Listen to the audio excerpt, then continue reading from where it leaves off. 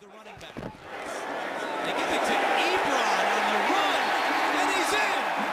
Eric Ebron with the touchdown. Second and goal, quick snap, quick pass, going nowhere. Try to run a play here. Yes, they will. One second, little misdirection. It is Ebron, and he bounces it into the end zone. Second touchdown for Ebron. Field. Ebron in motion. He'll take the handoff, and he is knocked out, and the ball comes loose. What a hit! Myles Jack and Telvin Smith combine on forcing the turnover and recovering it. Eric Ebron rushing touchdown. Did you have that on the bingo card tonight?